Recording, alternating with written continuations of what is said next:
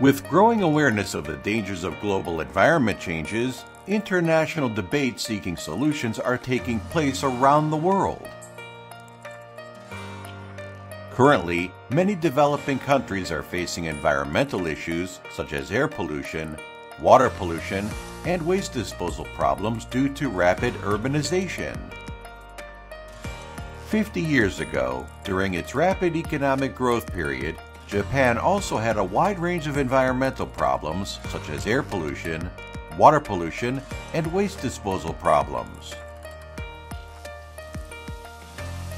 By introducing numerous policies and legislation, Japan was able to overcome these problems one by one while considering society and cities as a whole.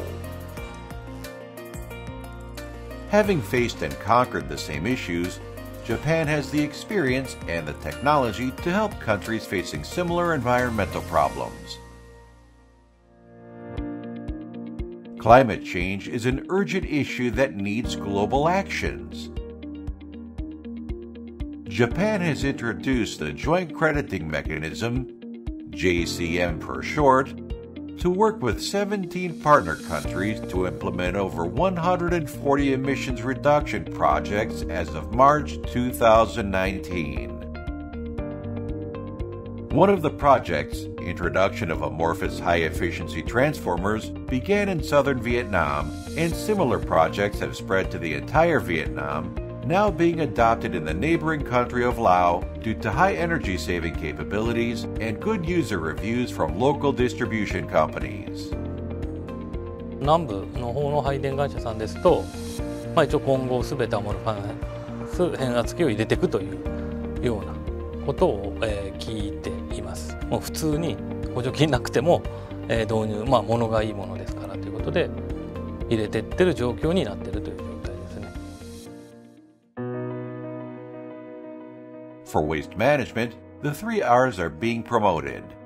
One of the technologies being promoted called waste to energy. This technology properly disposes of a large volume of trash generated daily, while the heat of incineration can generate a stable supply of electricity. The waste to energy plant completed in Yangon, Myanmar in 2017 is one example. Operational know-how has been transferred to local staff, and the plant is already running safely and stably. It incinerates 60 tons of waste each day, generating over 5,200 megawatts annually.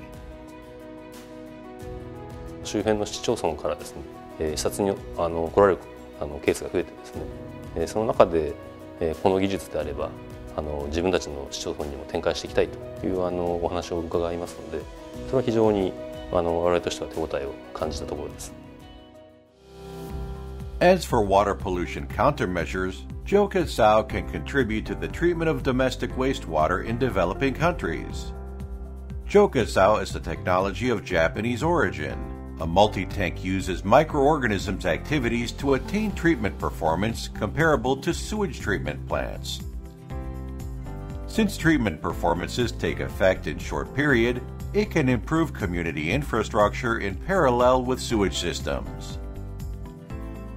With these performance and easier adoption, installation is increasing rapidly at four times in the past two years in Southeast Asia and contributing to improving public hygiene and water environment improvement in various countries.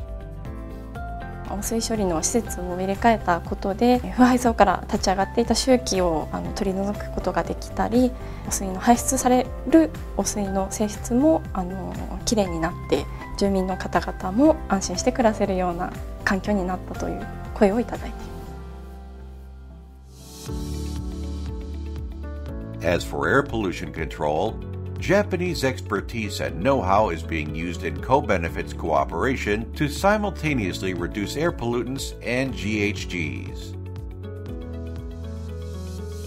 A natural gas fired dryer for drying and heat setting fabrics and exhaust gas treatment equipment were introduced to a textile factory in China. As a result, not only were CO2 emissions reduced, but emissions of volatile organic compound used in finishing processes were also cut. Such initiatives are now moving forward in various Asian countries. Solutions for countries facing environmental problems match the world trend of creating sustainable societies.